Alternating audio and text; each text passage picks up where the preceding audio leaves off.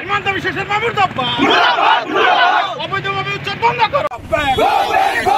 এই দাবি মুর্দাবাদ এই দাবি গো ব্যাক হিমন্ত বিশ্ব শর্মা মুর্দাবাদ অবৈধভাবে উচ্ছেদ বন্ধ করো। উচ্ছেদের নামে মুসলমান হামলা হারাস্তি বন্ধ করো। উচ্ছেদের নামে মুসলমান হামলা হারাস্তি বন্ধ করো। আমার দাবি আমার দাবি মেট্রো দাবি আমার দাবি মানিবই লাগবো। এটা নিয়ে নেই বন্ধ করো সাধারণ নামক মুসলমান নাগরিক হারাস্তি বন্ধ করো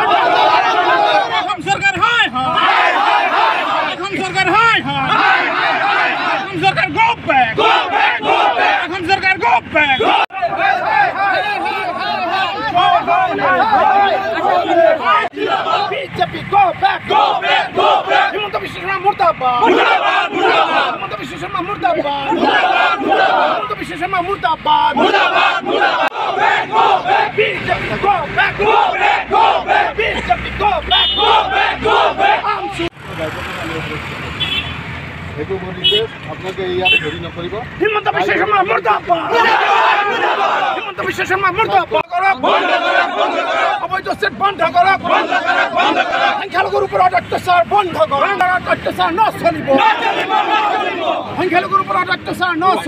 বন্ধ নামত মুছলমানসকলক বন্ধ মাননীয় মুখ্যমন্ত্ৰী হিমন্ত বিশ্ব শৰ্মাৰ দেৱৰ প্ৰ- প্ৰকৃতি মূৰ্তি এ, প্ৰতিমূৰ্তি দা কাৰ্যসূচী আমাৰ যি চেণ্ট্ৰেলৰ পৰা দিয়া হৈছিল এইটো আমি পালন কৰিবলৈ ওলাইছোঁ। কিন্তু যোৱাকালিৰ পৰা আমি লক্ষ্য কৰিছোঁ বিভিন্ন জিলাৰ লগতে আমাৰ কোকৰাঝাৰ জিলাতো। আমাৰ যি প্ৰতিবাদ এই প্ৰতিবাদক বিফল কৰাৰ কাৰণে যি এক ষড়যন্ত্ৰ আমাৰ প্ৰশাসনৰ দ্বাৰা যেনেকৈ এইটো বাধা দিবলৈ চেষ্টা কৰি আছে মই এই সংবাদ মাধ্যমৰ এই আপোনালোকৰ জৰিয়তে জনাব খুজিছোঁ এনেকুৱা বাধা দি আমাৰ কণ্ঠকে তেওঁ ৰুদ্ধ বন্ধ কৰি ৰাখিব নোৱাৰে।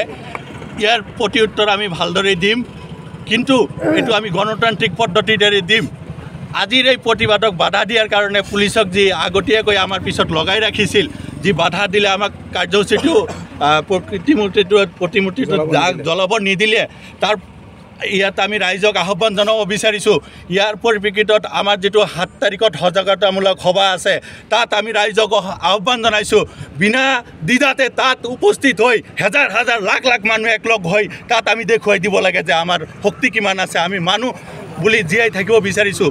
ইয়াত কুকুৰ মেকুৰীৰ দৰে জীয়াই থাকিব বিচৰা নাই কিন্তু একপক্ষীয়ভাৱে ইয়াত আমি ক'ব লাগিব কমিউনিয়েল যিটো এইটো হেৰি এই চৰকাৰখনে কৰি আছে একপক্ষীয়ভাৱে মুছলিমসকলক টাৰ্গেট কৰি লৈ এই ঠাণ্ডাৰ সময়ত কেঁচুৱা বাচ্চা লৈ তাত নিৰ্বস্ত্ৰকাৰে মানুহ খাবলৈ পোৱা নাই। এনেকুৱা এটা বিবিষ্ট পৰিস্থিতিত মানুহ থাকিবলগীয়া হৈছে। এনেকুৱা পৰিস্থিতি আমি চৰকাৰৰ পৰা বিচৰা নাই। সংবিধানে আমাক অধিকাৰ দিছে খাদ্য অন্ন বস্ত্ৰ বাসস্থান এইটো আমাক লাগিবই।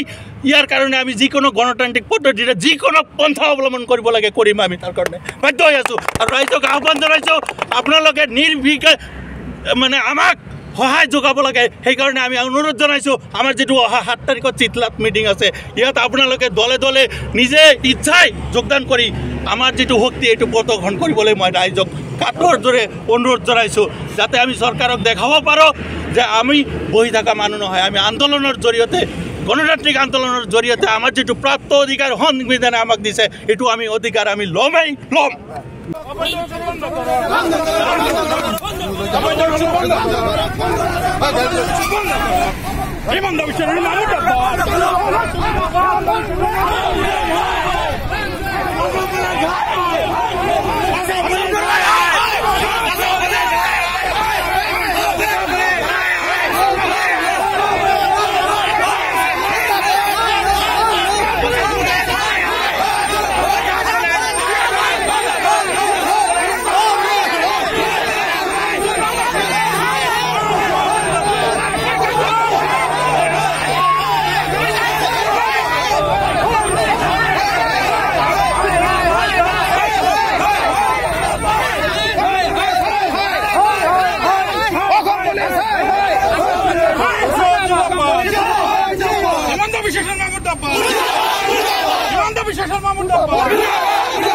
অবৈধ বন্ধ করো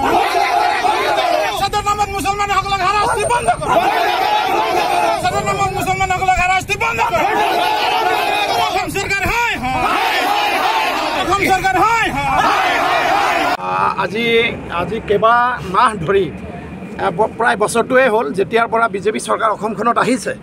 মাননীয় আ, মুখ্যমন্ত্ৰী হিমন্ত বিশ্ব শৰ্মা দেৱৰ দেৱৰ নেতৃত্বত অবৈধভাৱে একপক্ষীয়ভাৱে ধৰ্মীয় সংখ্যালঘু বিশেষকৈ মুছলিম সম্প্ৰদায়টোক টাৰ্গেট কৰি লৈ অবৈধ এভেকশ্যন চলাই আছে অবৈধ উচ্ছেদ চলাই আছে আৰু হিমন্ত বিশ্ব শৰ্মা নিৰ্লজ্জভাৱে স্বীকাৰো কৰিছে যে মই যদি সংখ্যালঘুসকলক বেয়া পাওঁ মই যদি সংখ্যালঘুসকলক টাৰ্গেট কৰি লৈছোঁ তাত কি বেয়া কৰিছোঁ? কি অসুবিধা হৈছে?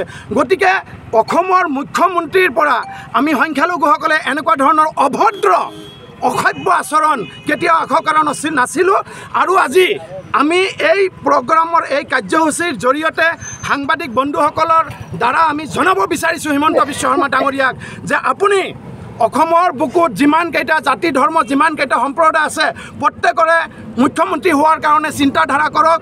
প্ৰত্যেকৰ মুখ্যমন্ত্ৰী হওক যদি আপুনি ভাবিছে যে অকল ধৰ্মীয় সংখ্যালঘুসকলক টাৰ্গেট কৰি লৈ এনেকুৱা ধৰণৰ উচ্ছেদ কাৰ্যসূচী চলাই লৈ যাম তেতিয়াহ'লে মনত ৰাখিব মুখ্যমন্ত্ৰী মহোদয় এই ধৰ্মীয় সংখ্যালঘুসকল কিন্তু হাত সাৱটি বহি নাথাকে হাতত খাৰু পিন্ধি বহি নাথাকে। এই অসমৰ এক কোটি ত্ৰিছ লাখ জনসংখ্যা কিন্তু ৰাজপথত ওলাই আহি আপোনাৰ বিৰুদ্ধে ইয়াত গণতান্ত্ৰিকভাৱে আন্দোলনৰ কাৰ্যসূচী হাতত ল'ব। আপোনাৰ যি শক্তি সেই শক্তিক কিন্তু আমি নিশক্তি কৰি দিয়াৰ কাৰণে বাধ্য থাকিম। আৰু এটা কথা অকল ধৰ্মীয় সংখ্যালঘুসকলৰ যি ভূমি বেদখল কৰি আছে ভূমি উচ্ছেদ কৰি আছে বেদখলৰ নামত আজি চিন্তা কৰক গুৱাহাটী ৱাকআপ বৰ্ড ৱাকআপ বৰ্ডত কিমান হাজাৰ হাজাৰ মাটি বিভিন্নজনে দখল কৰি আছে তাত কিন্তু তেনেকুৱা ধৰণৰ উচ্ছেদ কৰা আমি দেখা পোৱা নাই। গতিকে অকল ধৰ্মীয় সংখ্যালঘুসকলৰ ভূমি বেদখল কৰিব সেইটো কিন্তু সহ্য কৰিব লগা কথা নহয়। আৰু এটা কথা আপোনালোকে নিশ্চয় জানে যে অকল উচ্ছেদ কৰিলে সমস্যাৰ সমাধান নহয়। প্ৰথম অৱস্থাত যিসকল মানুহৰ ভূমি নাই যিসকল ৰাইজৰ ভূমি নাই সেইসকল ৰাইজৰ ভূমিৰ ব্যৱস্থা কৰি দিয়ক। আজি যিসকল মানুহক উচ্ছেদ কৰা হৈছে তাৰ পৰা খেতি পঠোৱা হৈছে সেইসকল মানুহ অহাকালি আকৌ কোনোবা জেগাত বহিব। তো গতিকে এইটো এটা ষড়যন্ত্ৰ কৰা হৈ আছে যে আজি এইটো জেগাৰ পৰা তাত পঠাব তাত যাব। এনেকৈ যাতে আমাৰ এই ধৰ্মীয় সংখ্যালঘু সমাজখন পঢ়া শুনাৰ ক্ষেত্ৰত শিক্ষাৰ ক্ষেত্ৰত অগ্ৰাধিকাৰ নিব নোৱাৰে এনেকৈয়ে যাতে ধৰ্মীয় সংখ্যালঘু সমাজখনক ধ্বংস কৰিব পাৰি। গতিকে এই অভদ্ৰ আচৰণৰ পৰা বিৰত থাকক অন্যথাই কিন্তু ভৱিষ্যতে পৰিস্থিতি ইয়াতকৈ ভয়ানক হ'ব।